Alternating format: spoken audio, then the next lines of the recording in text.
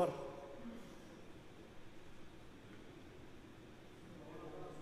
Va alaykum assalom va rahmatullohi va barakatuh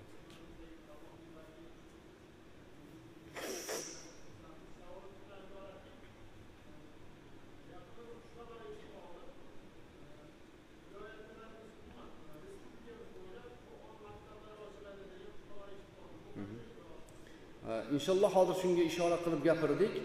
O'zi bu xalqimizni ta'limini e, bosqichlari bor.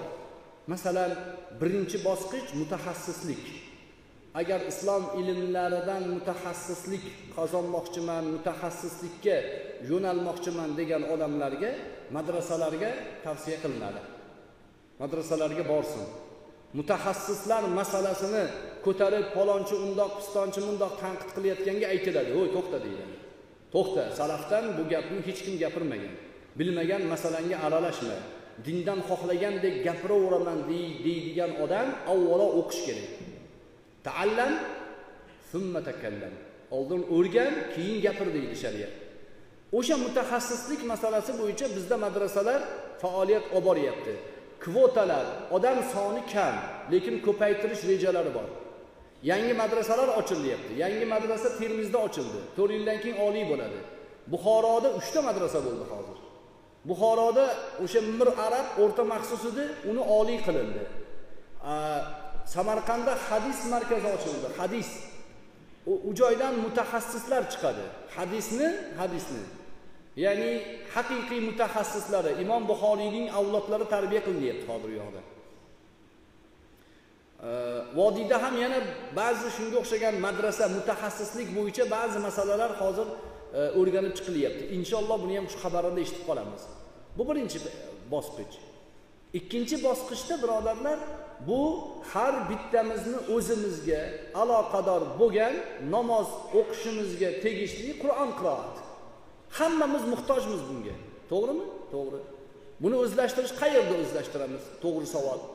Mana shuning muammosi o'rtaga ko'ndalang qo'yildi. To'g'rirog'i muftiy usmonxon alimov hazratlari boshchiligida ulamolar kengashi aynan shu masalani davlat rahbarlari oldiga taklif sifatida qo'yishdi. Chunki xalqning ehtiyoji va bu taklif ijobiy qabul qilindi. Siz o'sha xush xabarni eshitgansiz. Ijobiy qabul qilindi va bu masalani qanday yechish kerakligi to'g'risida biz bir katta bir mamlakatmiz. Va atrofimizda qo'ni qo'shnilarimiz bor tashqi ichki siyosatlar bor ichimizda mutaxassislik masalalari bor. Kim ta'lim beradi qanday ta'lim beradi masalalari bularning barchasi ishlab chiqilyapti. To shu narsalar ishlab chiqilib o'rniga kelgunga qadar toshkentda to'rtta joyda siz aytib ketgan ish boshlandi. To'rtta joyda ilk qur'on ta'limotlari. Balki endi imomlarimizni ham hozir bu E, uycha atrofida ahli ilmlar ko'p. Namanganda o'zi ko'p ahli ilmlar. Bu joylarda kamdirda ba'zi qishloq joylarida ba'zi uzoq joylarda imomlarimizning qiroatlaridan shikoyatlar bor. Olti yuzdan oshiq imomimizni qiroatidan shikoyatlar bor. Besh mingdan oshiq imom bor. O'sha imomlarimizni qayta o'qitish va bularni tayinlagandan keyin inshaalloh tajriba yaxshi chiqsa bu bizni qilib turgan ishlarimizga kimdir xalaqit qilmasa xalaqit qilyaptiyu odamlar. Bitta odam kiryaptida masjidda o'zi imom emas masjidga aloqasi yo'q mutavalli emas muazzin emas o'zi imomga ham mutavalliga ham joiz emas. O'zi alohida kirib olib burchakka o'tirib olib muallimni sonidan dars beryapti. G'alati emasmi? U ish sal g'alati emasmi g'alati ko'rinmayaptimi sizlarga qur'on ta'limiga biz o'zi joni fido bo'lib turibmiz. Hozir mana muzaffar aka oldimda o'tiribdilar tirik guvoh. Shu insonlar boshini kundaga qo'yib shu masalani orqasidan ertayu kech yugurib yuribdi. Zarar bo'lsa shular zarar ko'radi.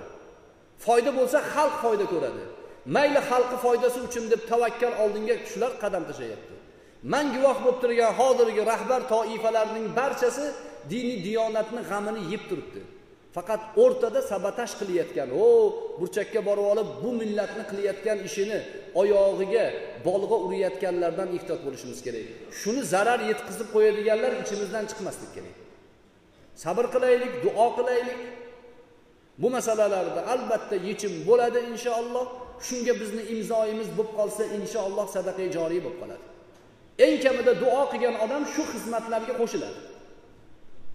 Bunga qarshi yurmaslik kerak. Inshaalloh xushxabarlar to'g'ri. Salomat.